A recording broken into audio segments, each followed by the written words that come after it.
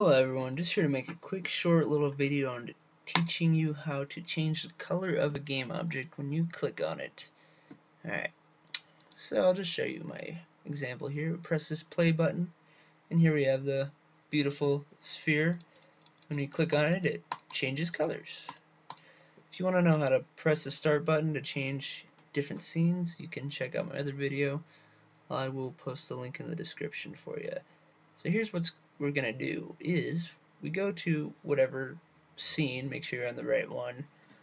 Uh, in my last video, I wasn't, had to redo all this. So anyway, let's create a new object. Let's do a, uh, let's do a cylinder. Why not, right?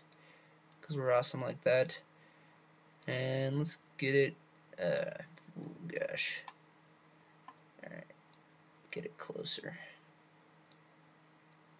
Right there, perfect we'll save. And so here's what we're gonna do is we're gonna next create a new script. I've been using C sharp. You can use whatever you want though. I'm sure you could figure it out. If you use JavaScript color changing changing sill. let's just do that huh. perfect. Alright we're gonna move this into our scripts folder maybe no. Oh man, sorry. Uh,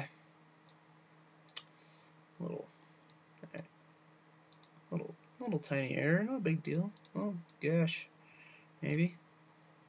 All right, finally did that. Holy cow! All right, so let's open that up. So what we're gonna do here is we're gonna go and if you want to just copy this code straight up, go for it. Otherwise, keep on watching. I'm just going to copy it over straight to here. And what I'm going to do is I'm going to paste it and change the name of the class to color changing sill. Control S, save that puppy, delete that, obviously we don't need that. Alright, next up, we're going to go back to our Unity editor. We're going to go to the cylinder and we're going to take our script that we just created actually and we're going to drag it to our game object. So this is going to be attached to it. And we're going to go, as you can see our script here, materials. How many materials do we want? Well, how many do we feel like having? Alright, looks like we got five, so let's do five and press enter and magically all these empty material elements will pop out of nowhere. We go we just put them all in there just like that. Rend well what are we rendering? We're rendering the cylinder. I mean you could have it where you're pressing on the cylinder and the sphere is changing colors if you feel like it I guess. Uh, it's up to you. It's your game. You're in control right? Alright, so let's go back to, well, actually, you know what? Let's save it and let's check it out. Let's see what happens. Boom. Rainbow cylinder. Okay, this one works too. Boom, boom, boom, boom. Awesome. So basically where I got all this from was the render material uh, Unity documentation website. I can post that up as well. Um, this one is actually kind of cool. Uh, if you want to check it out, I definitely recommend it. This will basically change the color of your game object every 0.33 seconds, or you can you know set it to however long you want it to wait before it changes color.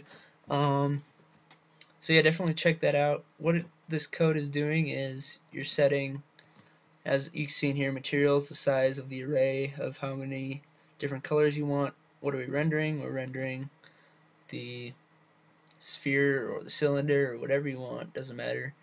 Um, definitely uh, mess around with this. Uh, it's kind of hard to make for me to explain what this why I have it set at 1 at first instead of 0 but basically by experimenting I found out that if it's at 1 you don't have to press the ball or the cylinder or whatever twice before it changes to the next color at first. Um, this stuff, ren, get component renderer, ren.enables equals true. I found out you don't actually need the code, but it does um, stop an error from popping up, but it still works even without this, but I guess if you don't like errors like I do, just keep it in there. Um, so here we're using on mouse down, which is an in internal uh, method of Unity, which allows you to detect if the mouse is pressed down. So on our pressing down of the mouse, we check if the materials.length equals 0 if that's true. So if we don't have any materials attached to the object, then we return nothing. Um, here we're checking, okay, if the input of the mouse is 0, which is the left mouse trigger. Uh, I think 1 is the middle, and 2 is the right.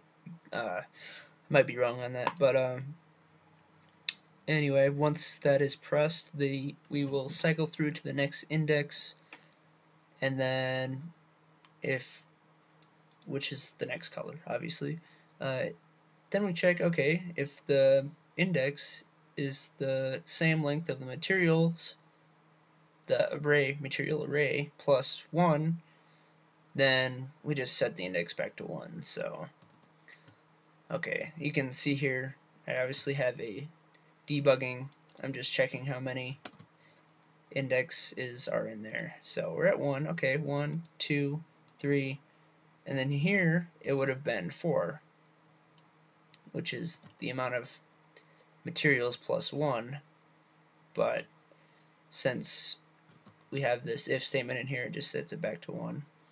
And then this just allows you to, the ren shared material equals materials index minus 1, okay. That is setting, okay, we're getting back to, when we click it, we're setting the index, right, but uh, the material location is actually one back from that.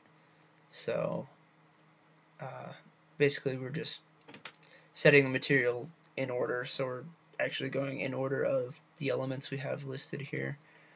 Um, so yeah, I hope if you guys were trying to figure that out, that this helps you uh, somehow. And I definitely recommend messing around with this, doing whatever you want. It's your game. So feel free to comment, like, subscribe. I don't care. Uh, anyway, I hope this helps you out. And so have fun and happy programming. Thanks for watching.